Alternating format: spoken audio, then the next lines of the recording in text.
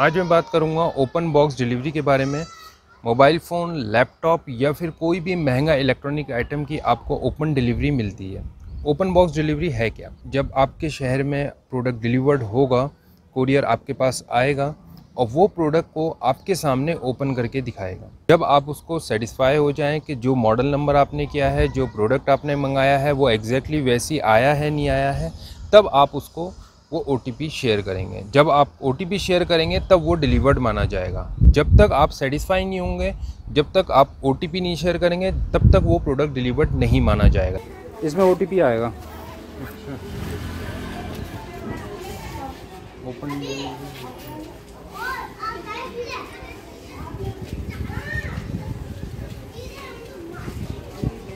one zero eight four one.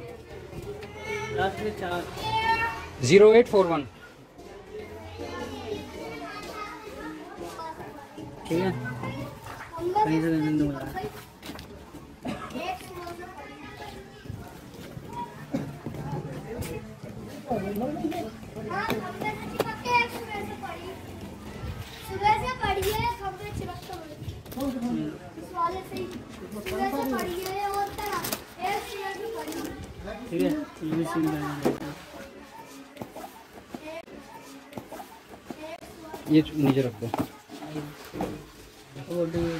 एक minute भैया एक मिनट एक मिनट।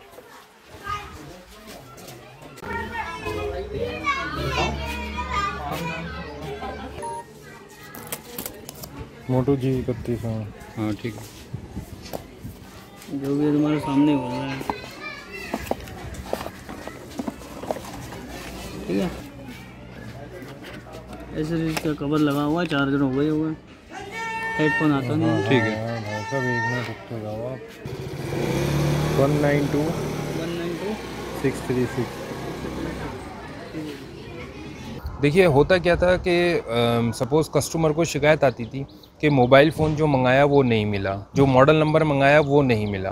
तो इससे क्या है यहाँ पे सेलर कहते थे कि वो प्रोडक्ट हमने भेजा है। तो इसमें बहुत ज़्यादा इश्यूज़ आते थे।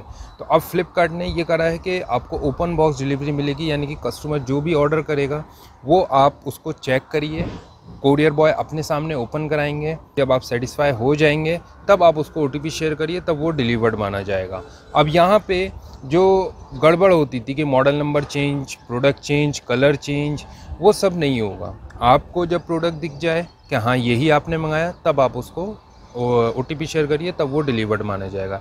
यानी कि जो शिकायत थी कस्टमर को देखते हुए फ्लिपकार्ट ने सिस्टम शुरू करा और यहाँ पे आपको कोई शिकायत का मौका ना मिले फ्लिपकार्ट की तरफ़ से, इसलिए ये ओपन बॉक्स डिलीवरी सिस्टम लाया गया है।